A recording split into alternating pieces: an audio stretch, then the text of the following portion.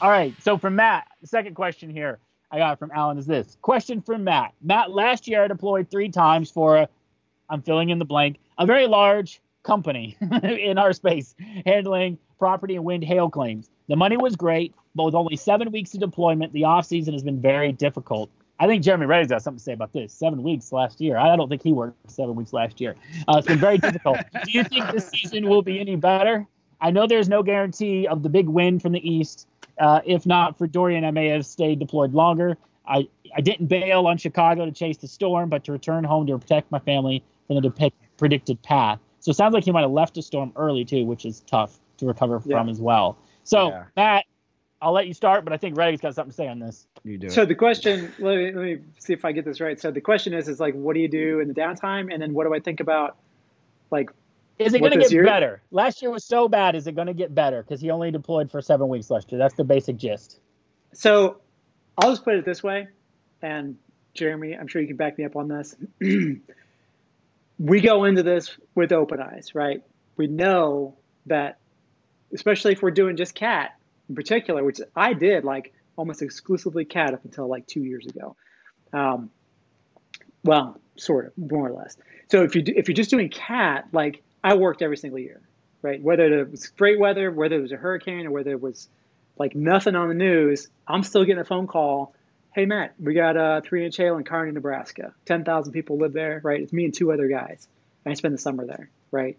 Um, and then you go on like Facebook or you go on uh, catadjuster.org if that's even still a thing, and people are complaining about it how there's no work. Is. And, yeah. Um, so I think the, the key for that and I'll just I'll, I'll, try to be brief on it. But the key is to is to is to do what we're talking about, and that is is to to get your skills up, right, and to I don't know what's going on with James down there. He's eating dinner. He's Sorry. doing the Joe Rogan right now. He's going yeah, off screen to do something yeah. else. Um, and and to and to learn and to more and way more important than even that. I mean, because you can kind of build your Xactimate skills and all that stuff as you go, and, and that is to, is to learn how to be efficient, right? Because the faster you are, the more you can kind of pad your your sort of like rainy day fund because you know that it could be you get a late start on the season, right? I'm a, I'm a hail adjuster way before I'm ever a hurricane adjuster. I've worked six hurricanes in my entire 21 year career, right? That's yeah. and that was and it was like they were the, the big ones, right? We have yeah. years, several years in a row where there's nothing, right? We had three years mm-hmm. in a row. Mm-hmm. We had Matthew, what 2016. Then we had yeah. Irma and Harvey, and then we had Florence and that other one, right? So and then we had Dorian, Dorian or, do the right hand, do the dog yeah, leg, and, yeah. right? So yeah, then then after that, there's nothing, right? So and there might be nothing this year. It's impossible to predict, right? We can't we can barely predict the weather three days out, let alone six months from now, because hurricane right. season will peak in, you know, September, uh, starting in mid-August, peak in the middle of September, and then back down into the middle of October. And that's the big. They say hurricane season starts in May, and you know, hurricane season starts in August, as far as I'm concerned. I am not right. paying attention to much right. before that. Um, so, do I think that anything is going to what's it going to be like this year? Um, no clue. But I can tell you, doing cat, that I've never had a year where especially after, most in particular, after I had um, developed relationships with my IA firms and became a trusted resource for them, I always said yes. I always said yes. They'd say, hey, Matt, we got this one six hours away. Yeah, no problem. I'll take care of it. Just send it over. You know, I'm not like, ah, right. sure you got somebody else? That's too far. No, no, no, no.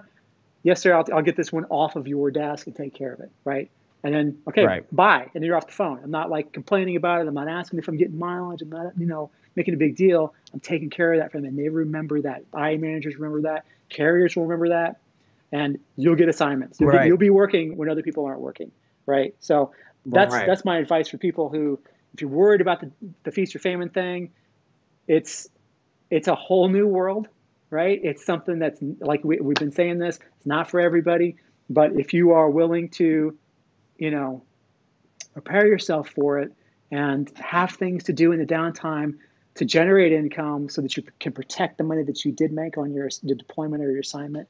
Keep that money safe so that, you know, and then deliver pizza. be a bartender, do Postmates, you know, do uh, auto claims, on demand stuff, do auto. Yeah, yeah, yeah. absolutely, one hundred percent. Do do auto claims for crying out loud. I mean, it's like I didn't even know about that until like last year, and Chris is like, "Oh yeah, man, totally. You can just jump right into auto." I'm like, "What?" I could be telling people that. So, and that's that's yeah. a that's a you just slide into it, and then if you get the deployment, you can slide right back out, right? And photo assist stuff. I mean, people will complain about it, but it's not going away, right? It, it's here to stay, and we might as well you might as well take advantage of it. And they're getting competitive with some of these what they're paying for this stuff, right? So yeah, um, I don't know, Jeremy, if you want to jump in on this one a little bit. Wait, wait, before we turn Jeremy loose, I got I got five seconds. I got to say before we let Jeremy loose on oh, yeah, this because yeah. I know he's going on a tirade. it's never going to end here. Now, two things, two things. I know nothing about property. I've never scaled a roof, nothing. But everything I've learned from these guys, uh, from Kagan, from Jason Heenan, two things: network, okay, and resume is all that matters to getting work, in my opinion, other than your quality product, like Matt's saying. But to get the first claim in your box to prove the point, network, resume, and that's why Reddick's the man on this. So go. all right, so th- thanks a lot, Chris. Um, and, and, guys, if you're watching this right now, I'm not sure if Chris's uh, video is is working for you. If it's not, just hang tight. Um, so all right. So the direct question that he posed, and correct me if I'm wrong here, uh, uh was this basically is this year going to be better than last year?